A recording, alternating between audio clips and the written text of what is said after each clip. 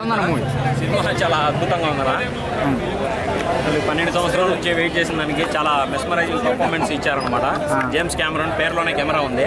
ఈ సినిమా కోసం కొత్త కెమెరాని ఇన్వెంట్ చేశాడనమాట సోనీ వెనిస్ అని కెమెరాతో తీశాడు. చాలా అద్భుతంగా ఉంది. ఏంటంటే చాలా మంది నెగిటివ్ టాక్ స్ప్రెడ్ చేస్తున్నారు. బాగాలేదు బాగాలేదు బాగాలేదని కానీ సినిమా బట్టికి వేరే లెవెల్లో ఉంటుంది. ఆల్రెడీ మన ఇండియాలోనే కేజీఎఫ్ని టూ బీట్ చేసేసింది టికెట్స్ వైడ్గా వరల్డ్ వైడ్గా ఫిఫ్టీ టూ థౌసండ్ స్క్రీన్స్ పైన సినిమా వెళ్తా ఉంది. మన ఇండియాలో కూడా నియర్లీ ఫోర్ థౌసండ్ క్రాస్ చేసేసింది అనమాట ఈ సినిమా ఖచ్చితంగా ముప్పై వేల కోట్లు కలెక్ట్ చేస్తుంది. ఇండియన్ కరెన్సీలో నేను చెప్తున్నాను.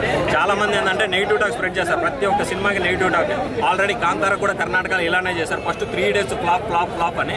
అది ఫోర్ హండ్రెడ్ క్రోర్స్ ఎలా కలెక్ట్ చేసింది? ఈ మూవీ కానీ ముప్పై వేల కోట్లు కలెక్ట్ చేస్తుంది ఇండియన్ కరెన్సీలో చెప్తున్నాను నిజంగా చెప్తా ఉన్నాను ఒక సముద్రం లోపల ఏముంటుంది ఇంతవాటికి ఎవడో సాహసం చేయాల.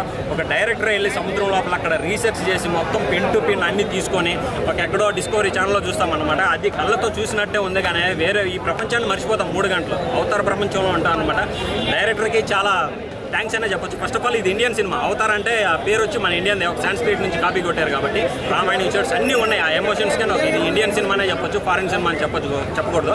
కాకపోతే డైరెక్టర్ ఫారినర్ కావచ్చు బట్ ఖచ్చితంగా అవతార్ అవుతే చూడొచ్చు అన్న. విజువల్ వండర్స్ అన్న ఇది. ఈ సినిమాని వేరే సినిమాతో పోల్చకూడదు. ఆ సినిమా బాగలేదు ఇది లేకు అని కాదు. ఇది ఏంటంటే ఇది ఒక కొత్త ప్రపంచం. త్రీ డీ క్లాసెస్ వేసుకొని చూస్తుంటే పిక్చర్ లేచిపోతుంది. మీరు కూడా చూడండి. హైదరాబాద్కి సముద్రం లేదని ఒక బెంగ ఉన్నది. ఈ సినిమా చూస్తే సముద్రం లోపల నుంచి వచ్చినట్టే ఉంది. అంత ఫీలింగ్ ఉంది. టెర్రఫిక్ అన్న. ఫైవ్కి ఫోర్ పాయింట్ ఫైవ్ ఇస్తాను రెడీ బాగా తీశారు. ఇందాకే చెప్పాయి కదా. ఓకే ఆ గ్రాఫిక్స్ చాలా బాగా తీశారు. So everything was on point అనమాట ఫస్ట్ హాఫ్ చాలా లాగ్ ఉండే సెకండ్ హాఫ్ చాలా బాగా తీశారు. The fight scene was great అనమాట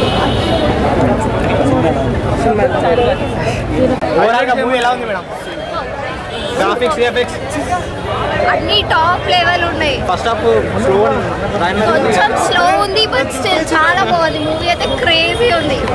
రేటింగ్ ఎంత ఇస్తారు madam five out of five three by five భయ్యా ఎలా ఉంది ఓవరాల్ ఎలా ఉంది? Overall average.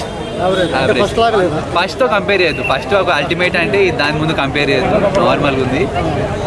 అదే ఎక్కువ లాగ్ అంటున్నారు కదా దాని గురించి. ఫస్ట్ పార్ట్ మొత్తం లాగే ఏదో స్టోరీ బిల్డప్ లాగా ఉంది కానీ ఫ్యామిలీ మ్యాన్ స్టోరీ లాగా ఉంది. యాక్షన్లో అంతేం లేదు. నార్మల్గానే ఉంది. గ్రాఫిక్స్ మాత్రం చేసారు హాలీవుడ్ కదా సూపర్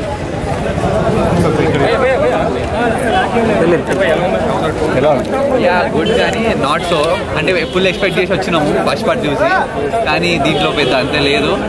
గ్రాఫిక్స్ మాత్రం సూపర్ మొత్తం యాక్షన్ తగ్గిపోయి ఫ్యామిలీ ఫ్యామిలీ టచ్ సినిమా ఫస్ట్ పార్ట్కి దీనికి ఏం కనెక్షన్ లేదా? కనెక్షన్ ఉంటుంది. అంటే ఆ ఫారెస్ట్ ఆ ఫారెస్ట్ నుంచి దే గో టు వాటర్ కానీ అందులో ఉన్న యాక్షన్ మనం యాక్షన్ ఎక్స్పెక్ట్ చేస్తాం కదా ఇలా యాక్షన్ తక్కువ. ఈ సోది మొత్తం ఎక్కువ. అంటే ట్రైలర్లో చూపించిన విజువల్స్ కూడా లేవు? ఉన్నాయి విజువల్ సూపర్ అసలు. గ్రాఫిక్స్ అంతా అసలు నెక్స్ట్ లెవెల్ ఉన్నాయి అసలు. కానీ స్టోరీ మాత్రం అంత లేదు. వార్ వార్ ఎక్కువ లేదు. వార్ ఎక్కువసేపు ఉంటే బాగుంటుండే. త్రీ అవర్స్ కూర్చోలేమంటారా ఫస్ట్ హాఫ్ మొత్తం లాగే హైలైట్స్ అంటే ఎఫెక్ట్స్ చాలా బాగున్నాయి. యానిమేషన్ టైప్ కాకుండా రియలిస్టిక్గానే ఉంది. కానీ ఫస్ట్ హాఫ్ కొంచెం బోరింగ్ అనిపించింది. సెకండ్ హాఫ్ చాలా బాగుంది. సెకండ్ హాఫ్ చాలా బాగుంది. అంటే చేంజ్ అయ్యి అవతార్కి చేంజ్ అవుతాడు. ఇక్కడ ఏంటంటే ఇప్పుడు ఈయన బ్లూ ఫ్యామిలీ ప్రొటెక్ట్ చేసుకోవడం కోసం ఒక ఐలాండ్ నుంచి ఇంకో ఐలాండ్కి వెళ్తారు.